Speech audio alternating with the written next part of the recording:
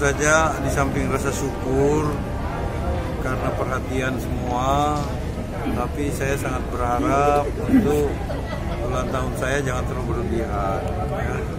karena tentu sangat merepotkan kita semua kalau ini menjadi tradisi. Ya. Saya syukuri dan saya berterima kasih apresiasi saya perhatian ke saya. Mungkin butuh wujud perhatiannya nanti nggak usah dalam bentuk kue, dalam bentuk macam-macam. Cukup ngirim WA selamat ya. Dan saya kira kita harus prihatin dengan kondisi ekonomi kita ya. Kondisi ekonomi global apalagi kita sebagai pemimpin provinsi, mungkin daerah tentu kita butuhkan contoh-contoh yang baik ya.